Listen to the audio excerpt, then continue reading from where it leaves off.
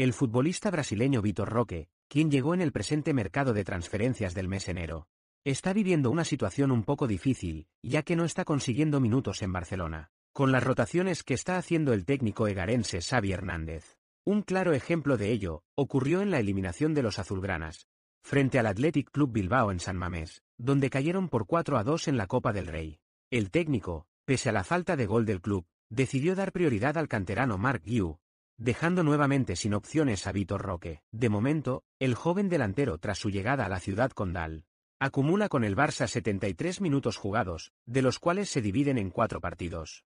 Es una cifra muy pequeña para lo que ha estado acostumbrado el futbolista en otros clubes, lo cierto. Es que a pesar de todo el jugador, está convencido de que le llegará su momento. Y que acabará gozando de más oportunidades con el FC Barcelona. Queridos culés, ¿qué opinas de la situación actual de Vitor Roque? Déjalo saber en los comentarios, y por supuesto. Muchas gracias por ver el vídeo y hasta la próxima.